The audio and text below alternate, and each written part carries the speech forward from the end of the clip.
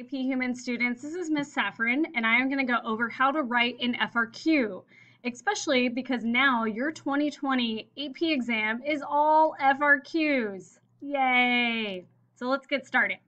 This is the same Nearpod that is embedded in Canvas, so you can either listen to this video and hear the explanation or go back and look at the Nearpod on your own but I wanted to go through how to write an FRQ just to kind of jog some of your memories. It's been a while since we've written one, and just what the task verbs mean and all that stuff. So first, a little bit of house cleaning for FRQs. Always write incomplete sentences. You are in college, and the reader assumes you're in college, so always write incomplete sentences no bullet pointing, no slang words, and if you are writing yours out with your handwriting, please make sure that it is legible and we can read it. No reading, no grade. Big change that happened in the 2020 update for AP Human Geography is what is called task verbs. In the past, there were several task verbs that students had to know what to do in the FRQ prompts. Now they've condensed it down to five verbs. So let's go over what each of these verbs make you do and think about how many sentences you would write per verb. So the first one, identify, indicate or provide information about a specific topic without elaboration or explanation. So identify verbs is where you're literally pointing out a country on a map or you're telling me what kind of agriculture that is, what kind of tool is that, Maybe what kind of language do you see on the picture? Usually you're going to have maps or pictures or countries involved in identify. And it's short, sweet, usually one sentence, you're done with that. The next task verb is define, provide a specific meaning for a word or concept. So this is where you're giving a definition. And sometimes you might give one complex sentence, but make sure that your definition is full and complete. Sometimes it's good for you to put in an example just so that you know for sure you know what you're talking about, the reader knows what you're talking about, and you're getting that full point. But it's not necessarily that you have to always put an example with a defined task verb. All right, the next one, describe, provide the relevant characteristics of a specific topic. So for describe, you are painting the picture of what something is like.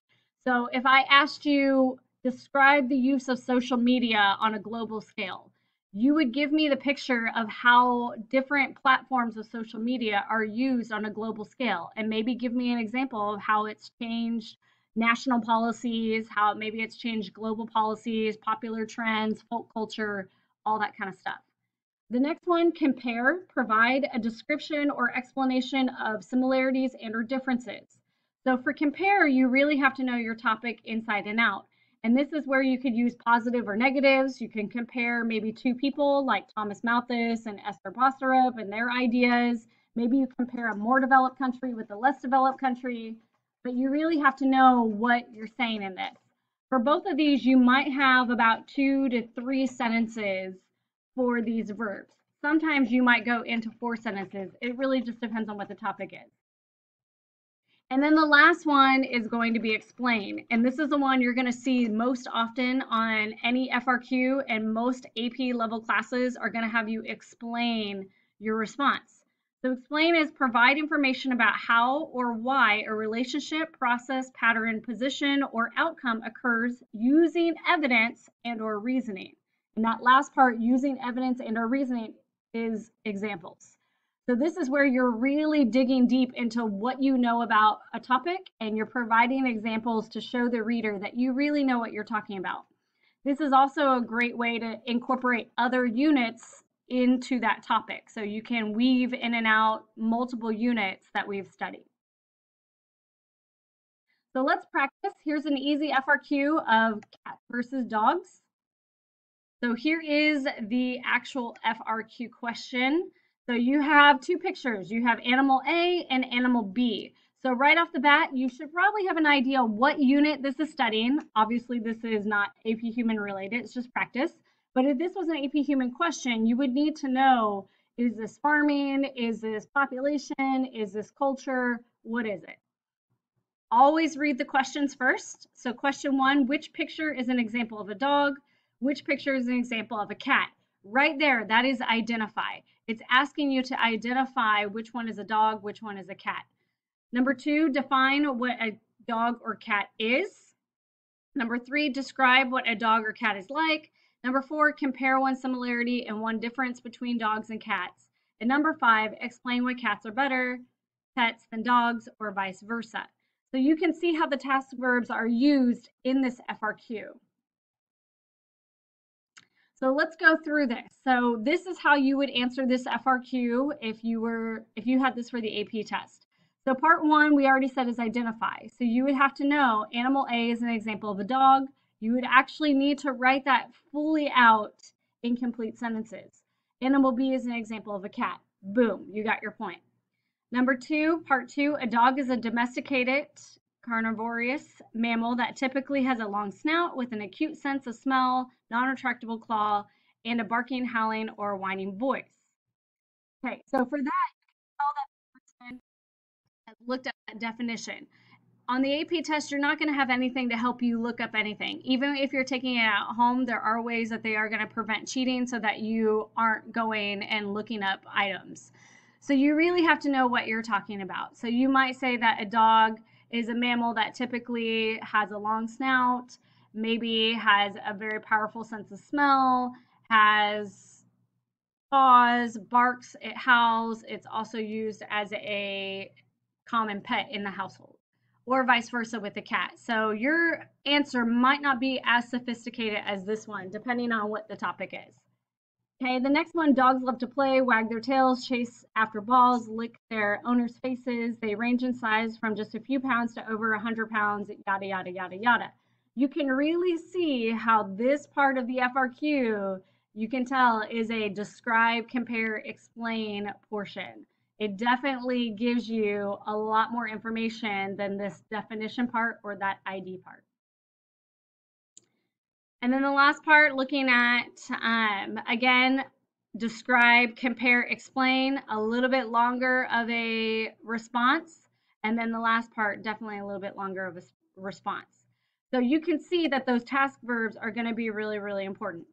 So moving on to a sample FRQ. This is an actual AP FRQ and I AP Human FRQ, and I'm doing this in Word document so that you can see what some possible answers would be.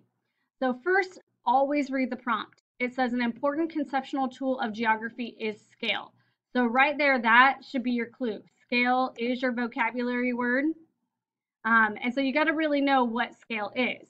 The first part, it goes straight into explain. Explain two meanings of scale. So we have to really think about what is scale.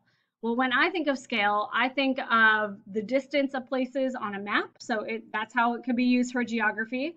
I also think of describing things in relative to other things based on size. So that could be local scale, national scale, regional scale, or global scale. So if I was going to put this into a sentence or a few sentences, I would say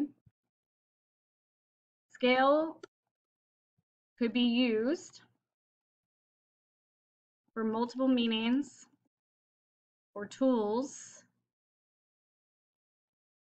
for geography. Scale is a tool on a map to show distance, um, a map projection to real world distances. Scale can also be used to compare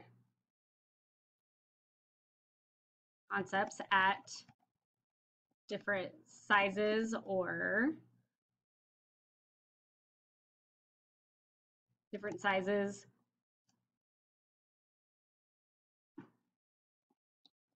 For example, you can have a concept at a local scale national scale or global scale. So in essence of time, my answer is not the best, but it does hit basically what the question is saying. And I would get, as a trained reader, I would probably give that response right there at least one, if not two points, because they're just giving me the bare basics of what scale is. Obviously, you could go into a little bit more explanation using examples, elaborating a little bit more. All right, this next one, compare the use of small scale map with the use of large scale map. Give a specific example of each. So this is where you have to know what is large scale versus what is small scale. Well, large scale is going to be zoomed in. Okay, so how would you use a large scale map if something is zoomed in? Well, you're looking at local things like setting up a parade route, maybe setting up a running race, maybe barricading a small neighborhood, um, using local authorities. Small scale is going to be more zoomed out. And so, how would you use small scale? Well, with the coronavirus, we're using small scale maps to look at how the coronavirus has affected the world on a global scale. That would be small scale. So, again, you got to think of scale as a fraction. Okay, so the bigger the fraction, the larger the scale. The smaller the fraction, the smaller the scale. All right, and then the last one, explain the concept of local global continuum as it relates to scale. So again, this is where you have to know what is local global continuum, okay? And then how does it show scale? So local global continuum is how things relate locally to globally on a basis. So how we have local government, we have national government, we have global government. How do we have local education? How do we have national education? How do we have global education? How do we have technology on a local scale, national scale, global scale, so on and so on? So you can come up with a lot of different examples of that. Um, and again, it's just elaborating. Do you know these vocabulary words? And even if you don't know the vocabulary words, could you figure it out, right? Like local to global is a type of scale, right? We're going from very small, like in your face, like where you can see it, all the way to global, where things are zoomed out and you can see it on a worldwide. That idea of continuum means it's a spectrum. And that idea of how do we see things change as the size changes. So again, even if you don't know the exact definition, you can still figure it out by breaking down the word and using some of those test strategies. So this is one of your sample FRQs. Your main FRQ for the AP exam will have seven parts. All FRQs are worth seven points. So right here, we probably would have gotten about four points out of that FRQ. Usually your explain, compare, describe verbs are going to be worth more points than your identify and define. So that just kind of helps you remember that. So that's it for how to write an FRQ and a sample FRQ question go ahead and continue on with the module. There's some other FRQs that you're going to be doing, um, and we're just going to practice a lot so you're ready for the AP exam. All right, have a good day. Bye.